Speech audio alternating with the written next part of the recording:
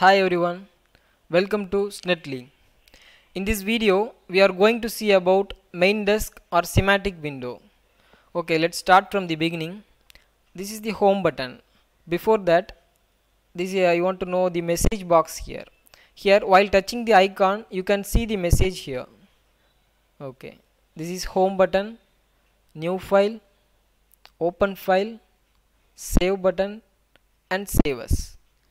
Okay, you can go to the home page either by clicking home button or close button also. You can create the new file by clicking here. You can open the existing file by clicking here. See, you can see the saved files here. Okay, you can change the file name. Here you can see the file name as untitled. Just click here and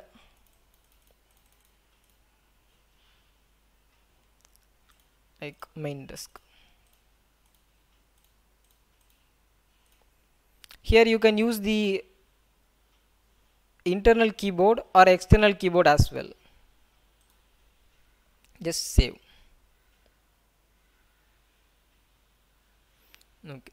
You can see the file name is main disk okay. This is the Snetly library browser. You can see the models pre-made models here and this is scientific processors. Here you can see we have 16 number of processors legacy logical scientific 1 and scientific 2 okay. And uh, these are delete refresh run previous net next net and all net option. Uh, to know this clearly let us have an example. Okay let me take one constant and uh, one display. Just drag and drop it. Okay.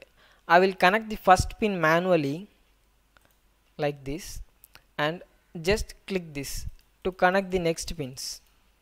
Okay? And just select the pins and click to delete. Now I will connect the last pin manually and just click this to connect the previous pins. Okay just delete and uh, connect the first pin manually.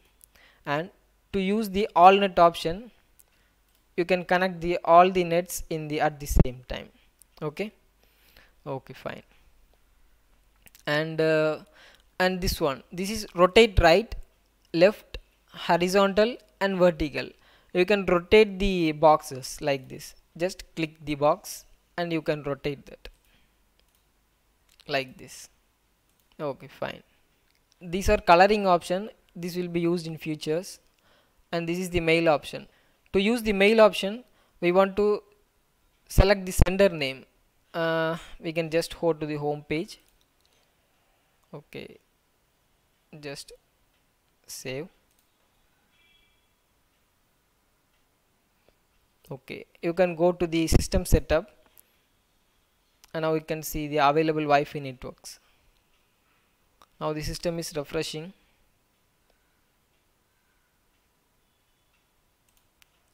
And we can just connect. Now it's connected to Wi-Fi.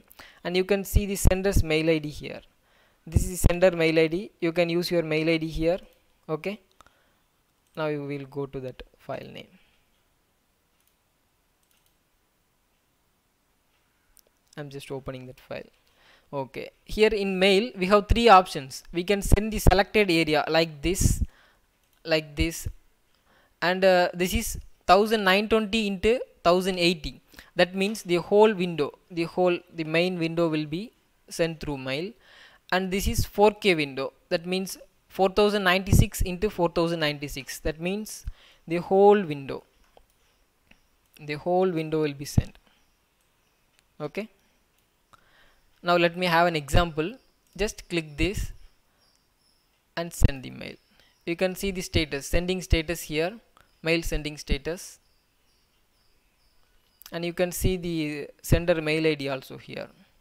Now you can you will receive the message while the message sent successfully or not sent.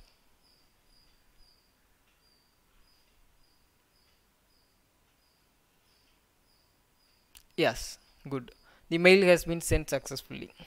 Fine. The beauty of the system is while sending the mail you can work independently. The system will be work independently. You can the mail will be sent in the backend okay this is the help button. Here you can uh, find the keyboard shortcuts. Here you can find the keyboard shortcuts here like uh, control a c d and everything. Okay? Okay fine. That's all for this video thank you for watching